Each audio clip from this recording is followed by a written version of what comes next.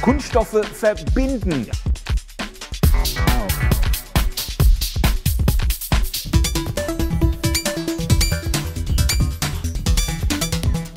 Kunststoffe verbinden, eine Branche hält zusammen. Das ist der Name unserer kleinen Sendereihe, die wir seit der Corona-Krise hier ins Leben gerufen haben. Hier in unserem Studio in Friedberg und auch bei den Unternehmen draußen im Markt, die jeden Tag mitmachen und darüber berichten, wie sie durch die Krise hindurchkommen. Heute sind wir verbunden mit einem Unternehmen aus Ulm, ähm, das sich nicht nur der Krise stellt, sondern erstaunliche Lösungen bietet, über die ich heute ähm, mit äh, dem Inhaber spreche. Dr. Jan-Stefan Röll von der Firma Zwickröll. Hallo nach Ulm. Grüß Gott, Herr Marschall.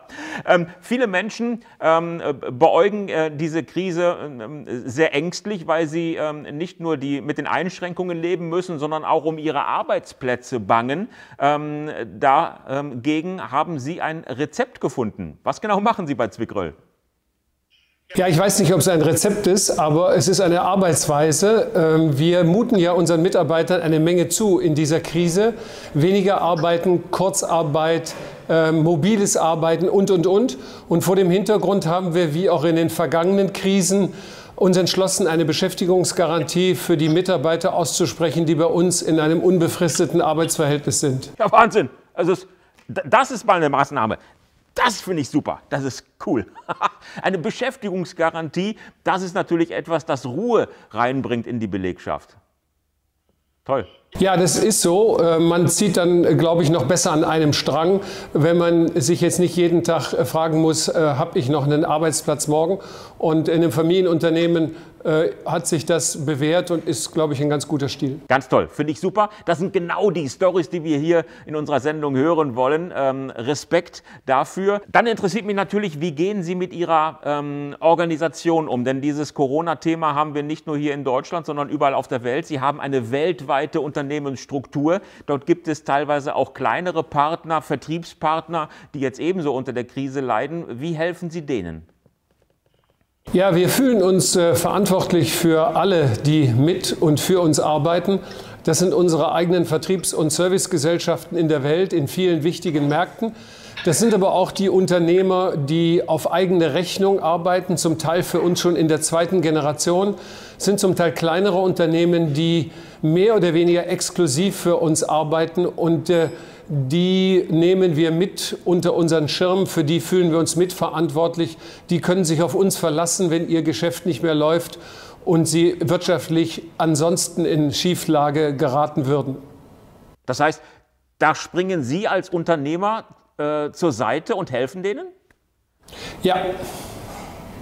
Sensationell. Also äh, eine Überraschung jagt die nächste. Äh, das ist äh, natürlich genau das, was jetzt gerade auch Unternehmen durch diese Krise trägt, dass Partner an ihrer Seite sind, die ähm, ja in den letzten Jahren ähm, so groß geworden sind, dass sie sich in solchen schwierigen Zeiten das auch erlauben können, anderen zu helfen. Finde ich fantastisch.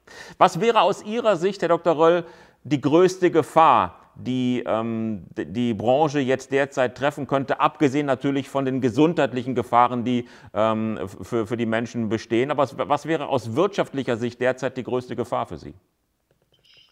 Ja, wir haben ähm, in der Krise immer noch einige Aufträge bekommen. Das liegt daran, dass wir ähm, global aufgestellt sind. Wir haben zu Beginn der Krise noch aus Europa und Amerika Aufträge bekommen. Jetzt, mitten in der Krise, bekommen wir wieder Aufträge aus Asien, weniger aus Europa und Amerika. Und für uns wäre jetzt, abgesehen von den gesundheitlichen Themen, die Sie ansprachen, das größte Problem, wenn man uns das Arbeiten verbieten würde. Wenn man uns also die Fabrik, die Montagen schließen würde. Und da hoffen wir, dass das nicht passiert. Denn mit den Vorkehrungen, die wir getroffen haben, um uns vor der Infektion zu schützen, können wir sonst sehr gut weiterarbeiten und die wenigen Aufträge, die wir bekommen, ordentlich, pünktlich und qualitativ hochwertig abarbeiten. Perfekt. Herr Dr. Roll, ich halte die Daumen, dass das weiterhin funktioniert, ähm, denn nur so können Sie ähm, Ihre Unternehmerrolle weiter gerecht werden und äh, Ihren Mitarbeitern und Partnern im Netzwerk weiterhelfen. Ich wünsche mir, dass das noch möglichst lange so funktioniert. Ähm, mit großem Respekt grüße ich nach Ulm, äh, Herr Dr. Roll, und äh, wünsche alles Gute. Ihnen, liebe Zuschauer, sage ich danke fürs Zuschauen bei unserer heutigen Sendung. Wenn Sie mögen, äh, bewerben Sie sich und Ihr Unternehmen gerne unter info.plus.tv. Dann sind Sie bald schon hier bei mir im Studio. Bis dahin, alles Gute, bleiben Sie gesund und bis morgen. Tschüss.